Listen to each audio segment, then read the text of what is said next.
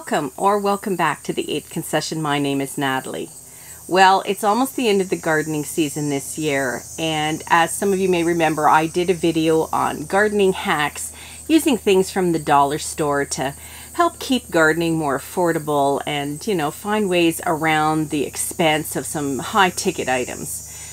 So over the years, I've bought a lot of gardening things from dollar stores, and this is going to be my top 10 of items to never buy at the dollar store. I've been disappointed with some of the things that I've bought and used, and I want to share them with you today so you don't have to buy them and be disappointed. Let's get started. The first item I want to talk about are gardening trowels. Now, of course, I use a lot of trowels, and here on the 8th concession, we have a lot of clay soil. So our soil can be very compact and very hard. And um, I think this says it all. the gardening tools bought at the dollar store just do not hold up to really hard wear and tear tough soil. Um, they tend to rust. This one hasn't rusted, but it is actually bent in half as I tried to pull some things out of the ground. They are not worth it unless you are just using some potting soil in a big container and it's light and fluffy and you just need something to scoop with, fine. But if you're going to be doing real gardening in the ground or in tough soil of any kind, do yourself a favor and invest in some high quality garden tools. I learned my lesson and I invested in a, a Spear and Jackson trowel, not from the dollar store. And this little thing has been just amazing. It never bends, it never rusts. I'm really, really happy with this.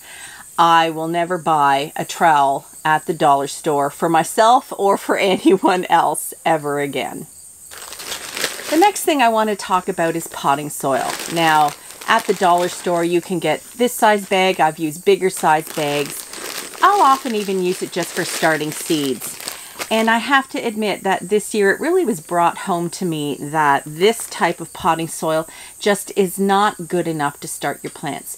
You can get them to germinate, uh, you can even get them to grow a bit, but the difference between planting in good quality potting soil that has the minerals and vitamins and fertilizer in it that you need, or that the plants need, I should say, um, versus this, which seems to be almost sterile, is really quite astounding. And I saw that with my pepper plants this year, where the ones that had been grown just in dollar store potting soil versus one that was actually grown in better quality soil because that's what I had left over, was astounding. And all through the season, that pepper plant has been doing better than the other pepper plants because it had a better, a quicker start. So even though it's tempting to use this sort of potting soil, certainly um, maybe if you're putting it in a pot outside, you could fill up with this but you will have to add fertilizer to it throughout the season to keep your plants healthy and looking great.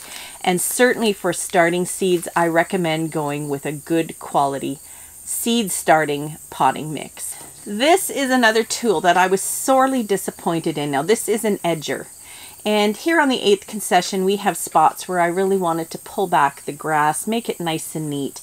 And I used to own an edger, um, and I don't know what happened to it. Somewhere in some of our moves, it got lost. So I thought, well, this is good, and it was inexpensive. I think at this particular dollar store, you can get things for under $5, $5 and under. So at, at most, this was $5. Uh, but I can tell you there is a reason why it's not worth $5.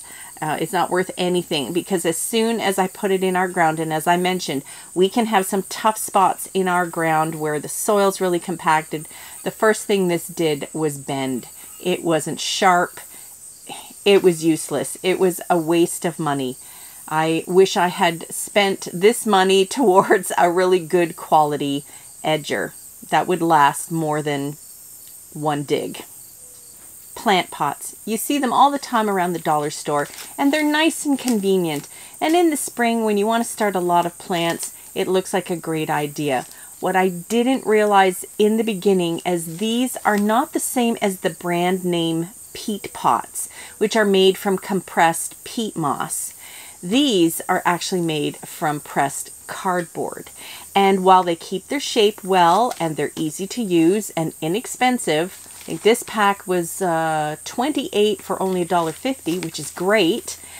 However, the sa- I have the same problem with these that I have with toilet rolls, and that is when I'm starting seeds and they're going to be in here for quite a while, they tend to go moldy.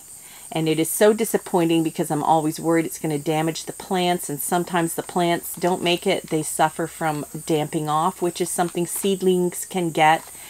Um, so these are not worth it. Look for the type that are actual peat pots and not just the pressed cardboard pots. Here is another gardening tool that I was disappointed in. These are some gardening shears. Again, I think they were around the $5 mark and my other ones had gone dull and my husband didn't have the grinder to, to sharpen them and I thought I'm going to grab these because I wanted to get some trimming done but these are only one season old and I'm not sure if you can see it or not but they are already rusty. Not only did they get rusty easily they were dull very quickly. I might as well have just used the old ones. And um, it wasn't even this pair. There was another pair that I had where uh, the bolt didn't even hold and the the blades actually went past each other and it wasn't even cutting anymore I think all that it had happened is I had put it on the ground to, you know, dropped it onto the ground and they bent. Like, they do not last. They weren't worth the money. I should have put that money towards a new sharpening stone or a grinder to get my good quality shears in order. This sprayer, now I had bought some oils, a dormant oil spray to do my orchard in the spring and I grabbed this sprayer at the dollar store because it was inexpensive and it looked great, has all the instructions that you need, but I have to tell you, it doesn't work right. It worked a little bit at first where you have to pump to get the, the pressure up so you can spray, but that was, I got one season out of it, and then this season it already isn't working properly. I'm not going to go back and buy another one there. I'm going to get a proper br a brand name one um, because all if you only get one season out of it, you're really not saving any money. So I, I did not have any luck with this pressure sprayer. I came down into the garden to show you this next one. Now some of you may remember that I used some tomato cages to make obelisks or trellises and these had my sweet peas on them and they have stood up great and they were great support. However, for their original use as tomato cages, the dollar store tomato cages just don't cut it. These ones were supposed to be holding up my Perron sprayless tomato plants and you can see they just aren't sturdy enough to hold up strong large plants. So that's a real disappointment. I had them farther in the ground. They've pulled, actually you can see they've pulled like right up out of the ground and they bend very easily. They might be good for a plant that doesn't get that big or heavy, maybe a dwarf type of tomato or a certain kind of flower, but for proper large tomato plants, they just aren't strong enough dollar store twine. Now, you can get different kinds of twine. You can get like a jute twine. But this, um, this is more like a, a plastic twine. It comes with a little cutter blade, which you'd think would be handy, but to be honest, this just didn't last. Once the sun got at it and it had been out around plants for a little while, it broke down very quickly and uh, whatever I was trying to tie up just fell over. I am not happy with this at all. So I do not recommend, if you want to get some good twines that you can hold things up with, um, maybe look at the hardware store rather than the dollar store. Seed starting trays. Now again, it's the spring, you want to get started. You see these packs in the dollar store. They'll come with the, the lid. They might even have some peat pellets in them or some cardboard, uh, cardboard little uh, seed cups in them. And so I succumbed and I bought some, um, even though, as you know, I don't like plastic. I was desperate though. And it is hard to find a good alternative to plastic when it comes to keeping the water contained when you water them.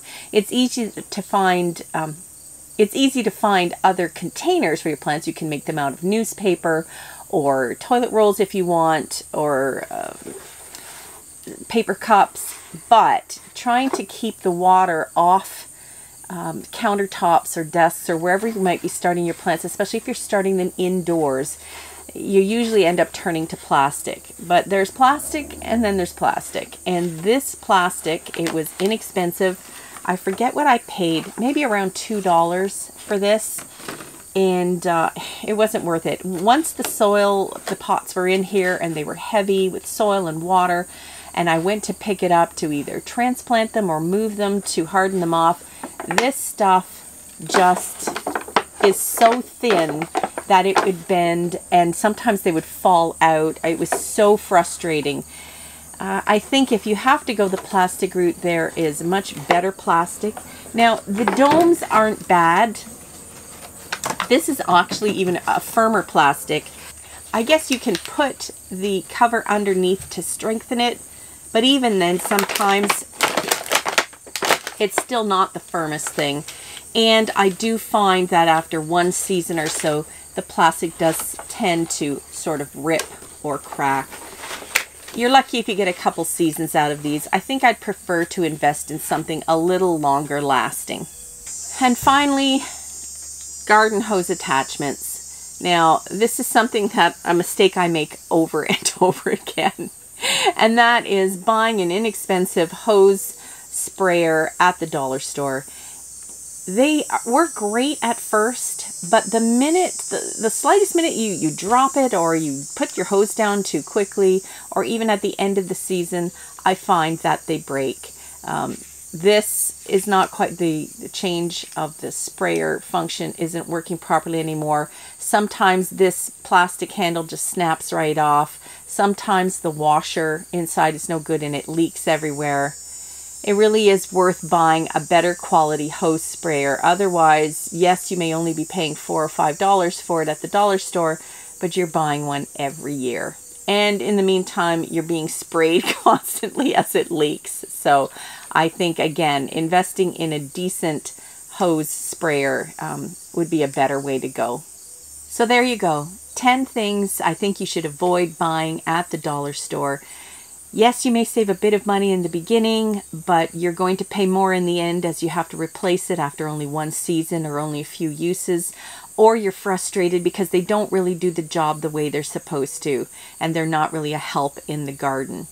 Hope it's been of some help to you. Bye for now.